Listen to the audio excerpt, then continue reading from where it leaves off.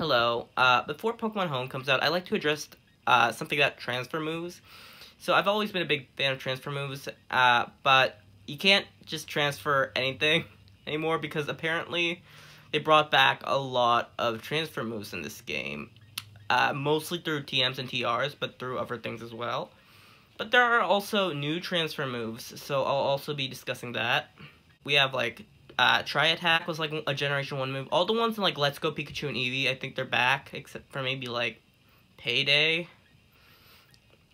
Um, no, Payday's still a move, okay. So yeah, Payday, Self-Destruct. Whirlpool is back, and that wasn't like around since like Heart Gold and Soul Silver.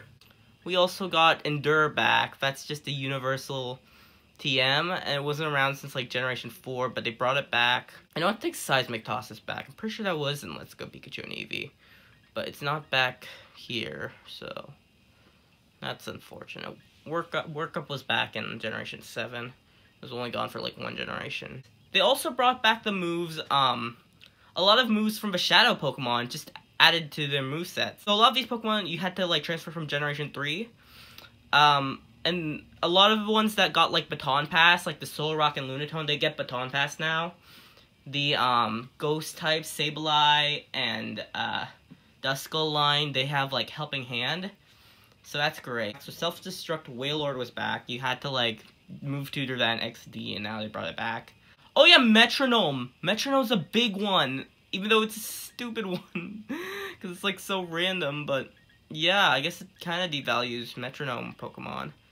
Body Slam is back. That's um was that's kind of interesting. You have to transfer it from your Gen 1 or Generation 3. Another one, uh, this is a different, this one doesn't exist anymore in this game, and that's Nightmare. So if you had a Nightmare Pokemon, like a Nightmare Butterfree or Lapras, I wouldn't suggest transferring that over. So Qwilfish can now learn Swords Dance again. You had to transfer to Qwilfish uh, from Generation 3. Uh, let's see. Do I have a Qwilfish? There we go. See? Can learn. Anyway, on to the newly exclusive transfer moves. So apparently, um, so obviously some moves like Toxic and Roost uh, are no longer like just moves any Pokemon can get. They're not in the TR list, so you have to actually... Those would be great transfer moves, obviously. And then Self-Destruct pretty much replaced Explosion, but Explosion is still in the game. So, if you transfer a Pokemon with Explosion that you normally give Self-Destruct to, that's just a clear advantage. So, I would do that in terms of transfer moves. And then finally, a... There are a few more. Uh, apparently, Slurpuff can't learn Belly Drum anymore, so you have to uh, bring that over from an older game. Belly Drum Slurpuff. Oh yeah, uh, Sing has not been touched. So if you need a Pokemon with Sing from Generation 3 that you purified, uh, go for it. N Natural Gift, it's called, from Generation 4. That's not even in the games anymore. I think that one was removed. Okay, so I went back to, um, oh yeah, Avalanche. Okay, so I went back to Ultra Sun, Ultra Moon. I'm just looking at all my transfer Pokemon. So, I think Power Up Punch actually still might be a good transfer move.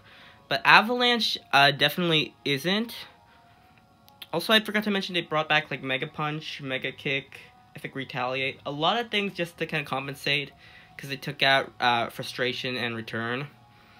So a lot of normal type moves. Um, so here's my like full Duskull team. So Endure is kind of ruined.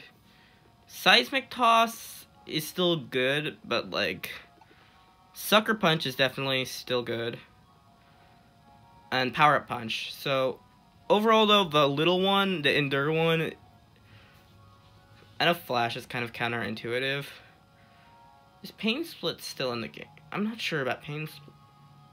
It probably is. I don't want to dwell on it. Curse! Curse is a good one. I have so many Curse Pokemon.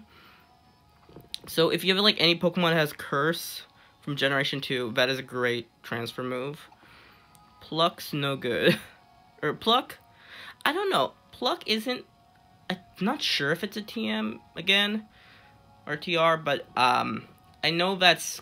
Uh, Skarmory isn't in there, so I can't transfer this anyway. See, here's a Qwilfish I can transfer. I'd love to transfer to this thing.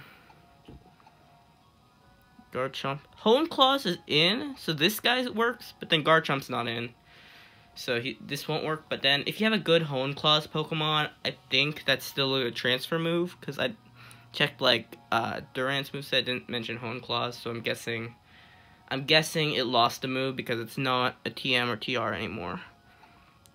I'm not sure soft, I think Soft Boil is still in the game, there's just no Pokemon that can learn it right now, but I think you can still transfer soft boiled Clefable. There's no chance he... I'm not sure about how, the Pokemon that can learn Reflect. Because I know there are differences in who can learn Reflect and who can't in Generation 1. So, like, a Reflect Chansey wouldn't happen normally, but, like, a Reflect, or a Reflect Dragonite. But then, now, but if you transfer it from Generation 1, they can learn Reflect in Generation 1. It's yeah, overall, Curse is good. The ones I mentioned are good. Everything else I wouldn't deal with. Anyway, that's all. Thank you for watching. Bye.